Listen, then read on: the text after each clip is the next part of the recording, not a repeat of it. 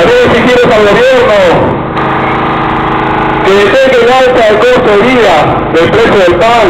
del precio de la leche, del precio del aceite y de todos los alimentos de primera necesidad que cada día suben, suben a costa de la precarización del salario de los trabajadores.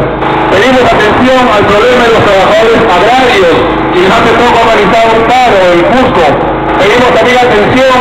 a la presencia y solución a la presencia del mafias en el sector de construcción civil. Todo este pliego de reclamos será entregado hoy al Congreso de la República una serie de demandas en la cual participa no solamente los movimientos sociales, sino todo el país entero. Es por eso que convocamos a toda la población, a las personas que están en la Plaza San Martín, aquellos que se encuentran en los restaurantes, aquellos que están en el Club Nacional, aquellos que están en todos los lugares aquí apostados alrededor de la plaza, a sumar de esta gran movilización